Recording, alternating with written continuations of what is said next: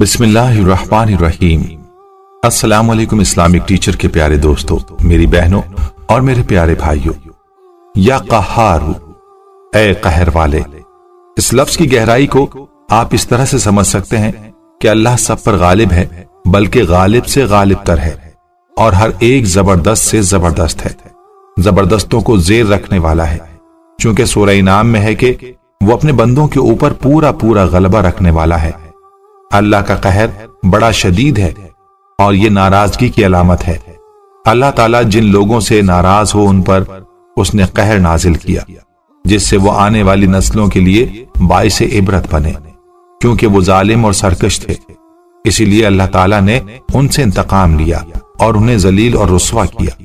یاد رکھو کہ آج بھی اگر کوئی اللہ اور اس کے رسول صلی اللہ علیہ وسلم کا دشمن جب اسے ٹکر لیتا ہے تو وہ اس پر قہر نازل کر کے اپنی شان قہاریت کا اظہار کرتا ہے اور اسے نیست و نابود کر دیتا ہے۔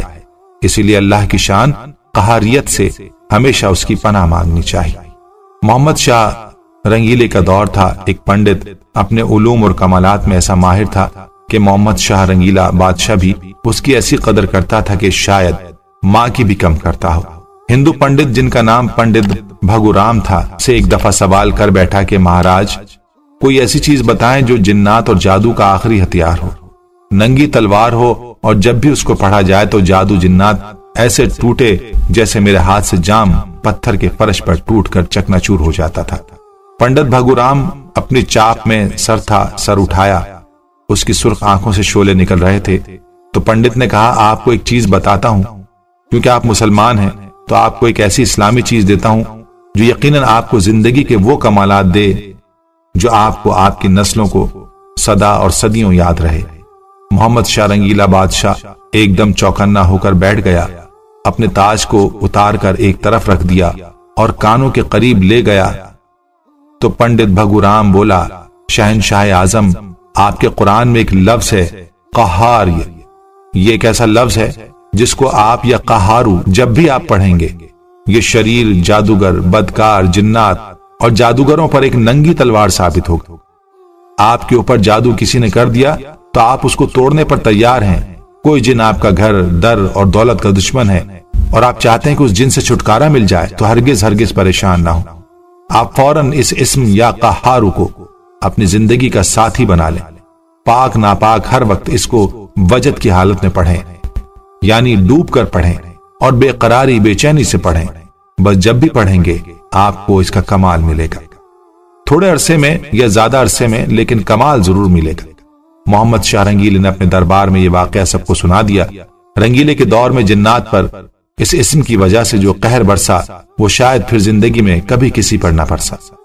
اسلامک ٹیچر کے پیارے دوستو، موجودہ دور میں امت مسلمہ جادو اور شیطانی اثرات سے محفوظ نہیں ہے، جس کی وجہ سے ہر شخص اپنی جگہ پریشان ہے۔ کسی عامل کے پاس جائیں تو نظر و نیاز میں ہی بکروں کے چڑھاوے لیے جاتے ہیں۔ آج میں آپ کو اس کا سادہ اور آسان علاج بتاتا ہوں۔ ہر نماز کے بعد اول و آخر تین مرتبہ دروز شریف پڑھ کر، ایک سو اکیس مرتبہ یا قہارو پڑھیں۔ اس عمل کا یہ فائدہ ہوا کہ جادو جنات سے حفاظت ہوگی، پڑھنے والے پر سے جادو ٹوٹے گا اور جس نے کیا ہوگا اس پر پلٹ جائے۔ اسلامک ٹیچر کے پیارے دوستو، اب آپ کو یا قہارو کے پڑھنے کے حیران کر دینے والے فوائد بھی بتا دیتے ہیں۔ دو سال قبل جب ہم نے یا قہارو کے وظائف بتانا شروع کیے تو بہت سارے ایسے میسج آئے جو بالکل معجزے سے کم نہ تھے۔ آج ان میں سے چند احباب کے میسیجز آپ کے سامنے ضرور رکھیں گے تاکہ آپ کا یا قہارو کی فضیلت سن کر ایمان تازہ ہو جائے۔ ایک بہن نے میسج کیا اسلامک ٹیچر، یا قہارو کے پڑھنے پر میرا نصیب کھل گیا۔ اس بہن نے میسج کیا کہ اسلامک ٹیچر آپ کے بیانات کی بدولت ہماری بہت زیادہ رہنمائی ہو رہی ہے اور ہم لوگ بہت سارے مسائب اور مشکلات سے باہر آ گئے ہیں۔ الحمدللہ، ایک واقعہ عرض کرنا چاہوں گی۔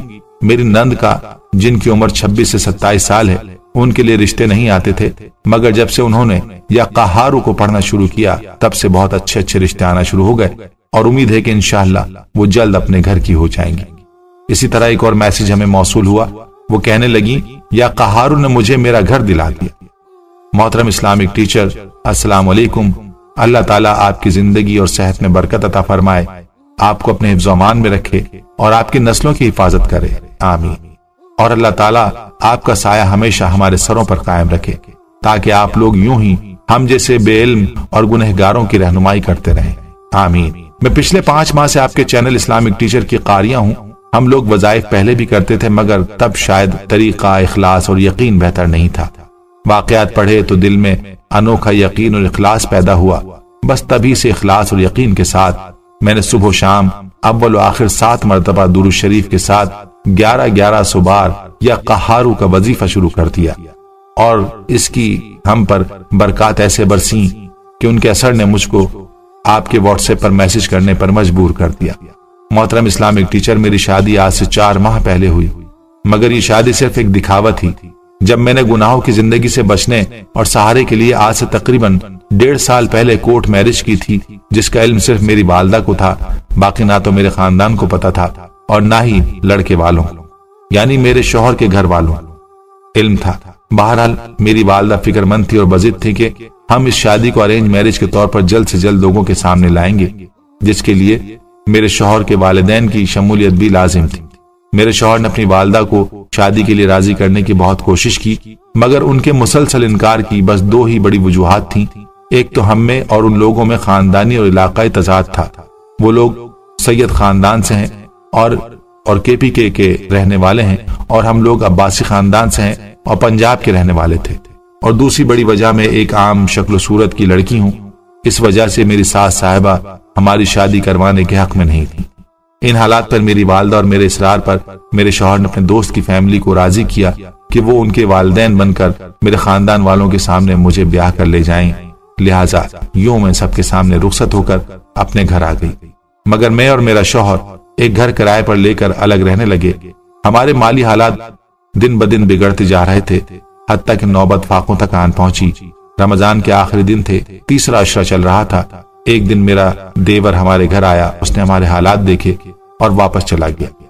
ہم نے اسی روز وظیفہ یا قہارو پڑھنا شروع کیا تھا کہ دو دن بعد اسی دیور کا فون آیا اور اس نے کہا، کیا تم لوگ گھر آنا چاہتے ہو؟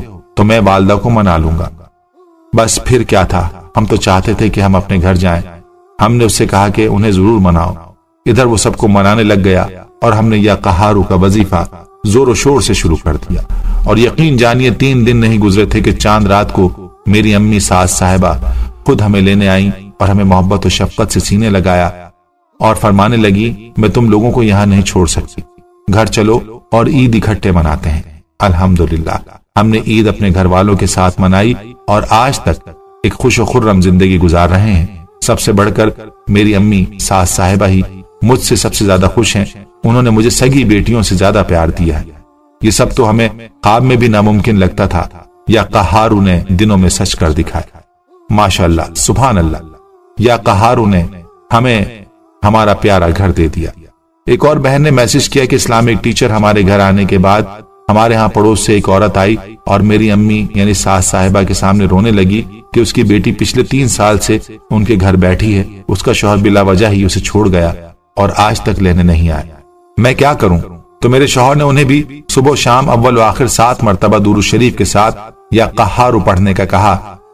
آپ یقین کریں کہ اس عورت نے وہ پڑھا ہی تھا کہ ایک دن بعد اس کا شوہر اسے لینے آ گیا، نہ صرف عزت کے ساتھ لے گیا، بلکہ معافی بھی مانگی۔ اس جیسے اور بھی بہت سارے واقعات ہیں جن کو سننے سے آپ کا ایمان ضرور تازہ ہو جائے گا، مگر وقت کی کمی کی وجہ سے بتانا مناسب نہیں۔ بس اسلامک ٹیچر کے پیارے دوستو، جب بھی آپ پر کوئی مصیبت یا پریشانی آئے جو ختم ہونے کا نام نہ لے رہی ہو، تو بس یا قہارو کو پڑھ کر دیکھیں۔ اللہ کیسے آپ کی غیبی مدد کرتے ہیں؟ اللہ پاک ہمیں اس کو پڑھنے کی توفیق عطا فرمائے۔ آمین۔ پیارے دوستو، ہم یہ امید کرتے ہیں کہ آپ کو ہماری آج کی یہ ویڈیو ضرور پسند آئی ہوگی۔ اگر آپ کو ہماری آج کی یہ ویڈیو پسند آئی ہے، تو آپ سے گزارش کرتے ہیں کہ آپ ہمارے چینل اسلامک ٹیچر کو ضرور سبسکرائب کر لیں۔ اور ساتھ ہی لگے بیل کے بٹن کو بھی پریس کر تاکہ آپ کے پاس ہماری آنے والی مزید معلوماتی ویڈیوز کا نوٹیفیکیشن بر وقت ملتا رہے۔ سبسکرائب کے ساتھ ساتھ ہماری ویڈیوز کو لائک بھی کریں اور اپنی قیمتی رائے کا اظہار کمنٹس میں ضرور کریں۔ کمنٹس میں آپ اپنے سوالات بھی ہم تک پہنچا سکتے ہیں۔ اللہ تعالیٰ آپ کو اپنے حفظ و امان میں رکھیں آمین۔